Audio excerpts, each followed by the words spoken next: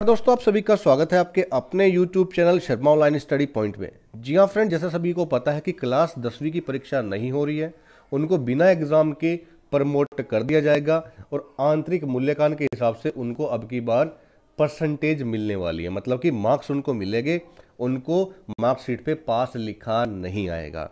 सो दोस्तों, वहीं हम बात करते हैं कक्षा बारहवीं के छात्रों के लिए, जिनका अभी तक कोई निर्णय नहीं लिया गया है। तो इस वीडियो में हम बात करेंगे दोस्तों कक्षा बारहवीं के लिए, उनके लिए बहुत बड़ी अपडेट यहाँ पे आई हुई है। इसमें बताया गया कि उनकी जो बोर्ड परीक्षा है वो कब होने वाली है और उसका ऑफिशियल नोटिफिकेशन कब तक आएगा, वो उसके बारे में भी हम जानने की इस वीडियो में कोशिश करेंगे। तो वीडियो को अंत तक देखेगा वीडियो अच्छी लगे तो लाइक, शेयर, कमेंट ज़रूर कीजिएगा और चैनल को सब्सक्राइब करना ना भूलें। सो दोस्तों, स्टार्ट करते हैं वीडियो।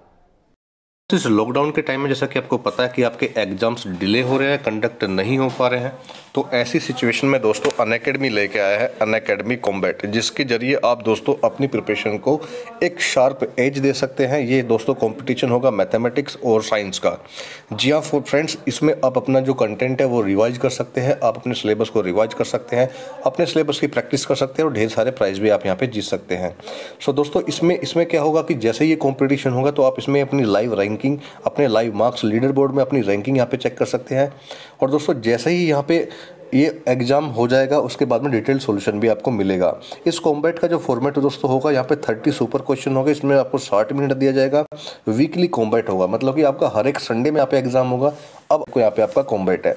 उसमें दोस्तों आपको क्या करना है, मेरा जो रेफरल कोड है, मेरा रेफरल कोड है दोस्तों स्टडी ट्वेंटी वन जी हाँ फ्रेंड्स मैं लिख देता हूँ study twenty one study twenty one दोस्तों लिंक भी मैंने डिस्क्रिप्शन में दे दिया है। वहाँ से जाके मेरा स्टडी ट्वेंटी वन कोड आप यूज़ करिएगा। आपको फ्री में सारा का सारा मटेरियल एक्सेस हो जाएगा। दोस्तों, इसमें नेगेटिव स्कोरिंग भी है।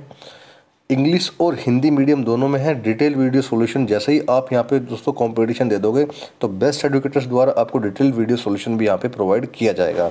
इसके बाद में दोस्तों यहाँ पे लाइव कॉम्बैट आपको जो पता है कि लाइव रैंकिंग भी आप यहाँ पे चेक कर सकते हैं। और दोस्तों आप यहाँ पे क्या होगा कि अपना जो अंडरस्टैंडिंग है, उसके कंसेप्ट है, उसके एप्लीकेशन को अपना टेस्ट कर सकते हैं। ऐसे इस प्रकार के क्वेश्चन आपको यहाँ पे दिए जाएँगे। और दोस्तों यहाँ पे ढेर सारे प्राइज आप यहाँ पे देख सकते हैं। एक से तीन लोग को अन का एक साल का सब्सक्रिप्शन फ्री मिलेगा। चार से दस वालों को सेवेंटी फाइव परसेंट मिलेगा ऑफ़ मिलेगा और ग्यारह से पचास वाली रैंक को पचास परसेंट ऑफ़ मिलेगा अन अकेडमी प्लस सब्सक्रिप्शन पे। इक्यावन से तीन सौ वाली रैंक को पच्चीस परसेंट मिलेगा। तो आप जल्दी कीजिएगा लिंक मैंने डिस्क्रिप्शन में दे दिया है। वहाँ पे जाइएगा स्टडी बड़े बड़े लेटर में यहाँ पे लिख रहा हूँ दोस्तों मैं study twenty study twenty one पे जाइएगा फ्री में एनरोल कीजिएगा। और दोस्तों सोलह तारीख को आने वाले संडे में आपका यहाँ पे लाइव टेस्ट यहाँ पे चलेगा। पे देख सकते हैं, इसमें बताया गया कि बारहवीं परीक्षा पर केंद्र के साथ राज्य मिलकर करेंगे फैसला। पंद्रह दिन पहले मिलेगी सूचना। इसमें क्या बताया गया फ्रेंड्स, आप यहाँ पे देख सकते हैं। केंद्रीय शिक्षा मंत्री रमेश पोखरियाल निशंक ने राज्यों एवं केंद्र शासित प्रदेशों के शिक्षा सचिवों के साथ बैठक की।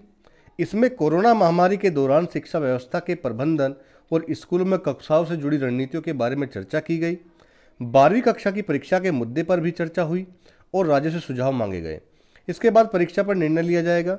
सीबीएसई ने पहले ही घोषणा कर दी कि एक जून या इसके बाद समीक्षा की जाएगी और फिर लंबित बोर्ड परीक्षाओं के बारे में फैसला किया जाएगा। कोरोना के चलते दसवीं कक्षा की बोर्ड परीक्षाएँ रद्द हो चुकी है और मूल्यांकन की नीति घोषणा कर दी गई है। अभिभावकों एवं छात्रों का एक वर्ग मांग कर रहा है कि बारहवीं की परीक्षा रद्द की जाए और मूल्यांकन की समान नीति लागू की जाए।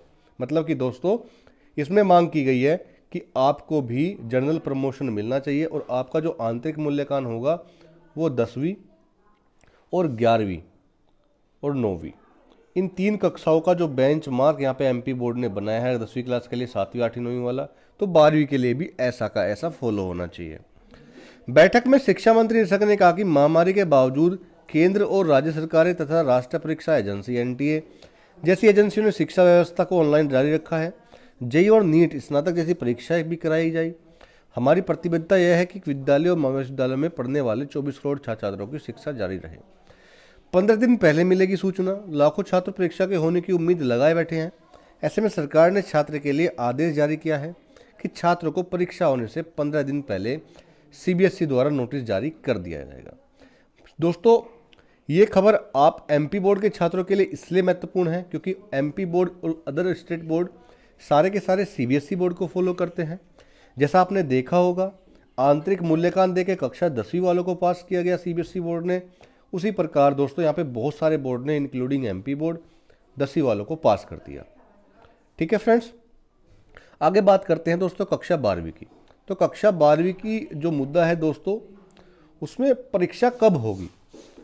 क्या इनको भी आंतरिक मूल्यांकन के हिसाब से पास किया जाएगा? तो दोस्तों, फ़िलहाल जो कोविड की स्थिति है, उसमें परीक्षा टल रही है। परीक्षा कब तक टलेगी, आप देख सकते हैं दोस्तों। जून के आसपास दोस्तों डिसीज़न होगा और मेरे हिसाब से जून के लास्ट में, नहीं तो जुलाई के फ़र्स्ट वीक में एग्ज़ाम कंडक्ट किए जा सकते हैं। अगर दोस्तों स्थिति स्थिति ऐसी बरकरार रही तो आपको यहाँ पे कॉलेज में भी एडमिशन लेने पड़ेगी, नहीं तो आपका एक दो साल लॉस हो जाएगा, एक साल लॉस हो जाएगा कॉलेज का। तो उस केस में दोस्तों यहाँ पे ओपन बुक परीक्षा भी कराई जा सकती है कोविड के केसेस को देखते हुए। और वहीं दोस्तों स्टेप लिया जा सकता है कि बेंच के हिसाब से आपका रिज़ल्ट तैयार हो जाए, कि दसवीं, नौवीं और ग्यारहवीं इनका रिज़ल्ट तैयार हो सकता है। सो दोस्तों, अपनी राय कमेंट बॉक्स में ज़रूर लिखना कि आपकी एग्ज़ाम को लेके क्या राय है? क्या एग्ज़ाम होने चाहिए? होने चाहिए तो किस प्रकार होने चाहिए? सारी की सारी राय कमेंट बॉक्स में ज़रूर लिखना। वीडियो अच्छी लगे तो लाइक, शेयर, कमेंट ज़रूर करना। चैनल को सब्सक्राइब करना ना भूलें। सो दोस्तों, थैंक यू वेरी मच।